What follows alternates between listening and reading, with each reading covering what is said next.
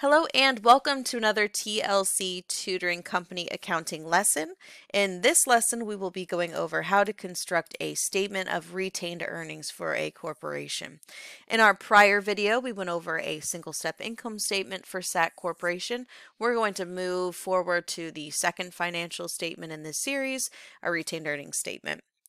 So we've already categorized all of the accounts on our adjusted trial balance as assets, liabilities, capital, income, or expense.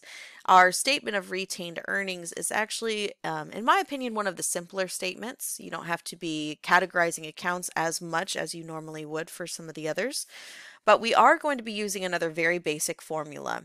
So when you're starting to tackle financial statements, each one has a general formula that you can kind of use as your skeleton. So for the statement of retained earnings, our basic formula is beginning retained earnings plus net income minus dividends equals ending retained earnings. Now keep in mind, if you want to work along with us, you can go to our website. I'll link to that in the description below. And there you will be able to find the blank worksheet that we use to tackle this type of problem. So let's get started with our beginning retained earnings. When you're doing your beginning retained earnings, um, some textbooks are fine with you just writing beginning retained earnings. I'm just going to be a little bit more thorough in this video. Uh, since this is for since this is for the month ended uh, January 31st, I know that my beginning retained earnings balance is at the beginning of this month.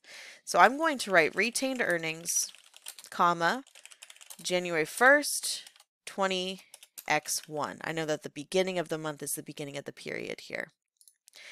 Now, for this particular company, it may not be uh, extremely clear, maybe a little bit here. So notice here that currently the retained earnings balance has a balance of zero, just to kind of shed some light on why that is. This is the first month of operations. They have just incorporated. So that is why we're seeing a retained earnings balance of zero.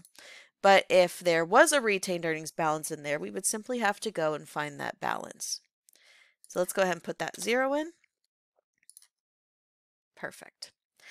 And now our next step is going to be to figure out what all of those increases and decreases during the period are.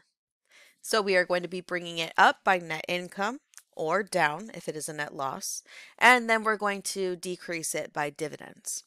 So let's start with our net income. Our net income will be grabbed from the prior financial statement. Notice we already have a completed income statement above. 96,500 was our net income for the month. So we are going to be bringing that down to our statement of retained earnings here. That's why we must do our income statement first. Now keep in mind here, these two columns are not debits and credits. They are simply for formatting all of our increases and decreases during the period, as we're making essentially a type of list, will go in the left-hand column. So we just made it go up by net income. Our next step is to make it go down by our dividends. Uh, let's take a look. We have two dividend accounts. We have one for common and one for preferred. Let's put those on. I'm going to say less just to indicate that this is this has to be subtracted. Dash common less